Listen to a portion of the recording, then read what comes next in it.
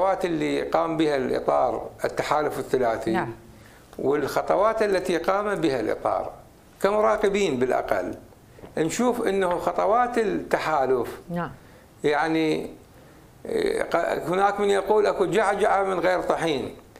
نسمع الإطار يقولون عندنا 134 من الائتلاف الشيعي يوم أمس أحد أعضاء ائتلاف القانون قال عندنا 134 صوت شيعي موقع توقيع.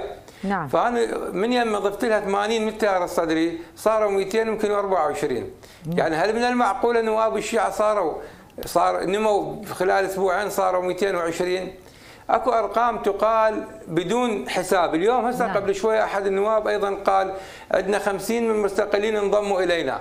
يعني ماذا المستقلين صاروا 100 ف- فأكو عملية حسابية نعم. يقولها بعضهم دون أن يدرك معانيها. هاي تقلل تقلل من مصداقية الآخر أمام الجمهور. في واقع الحال الخطوات يعني اللي قام بها تتحدث عن لغة الأرقام سيد غالب. لغة الأرقام نعم. يبدو لا أحد يفكر بها يعني جيدا. شوف الصدق يعني هيفاء وضيوفك الكرام. ال- الخطوات اللي قام بها التحالف الثلاثي.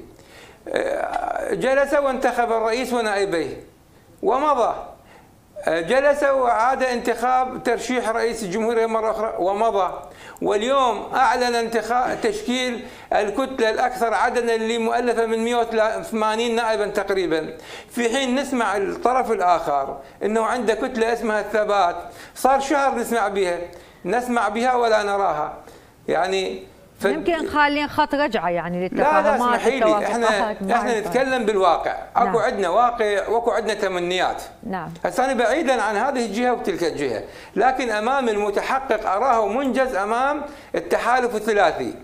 الباء يوم أمس أنا في لقاء مع السيد علاء الركابي قال بح- بملء فيه بملء فيه ان إننا سنحضر الجلسة نحن وجيل ولكن لن نصوت لأحد.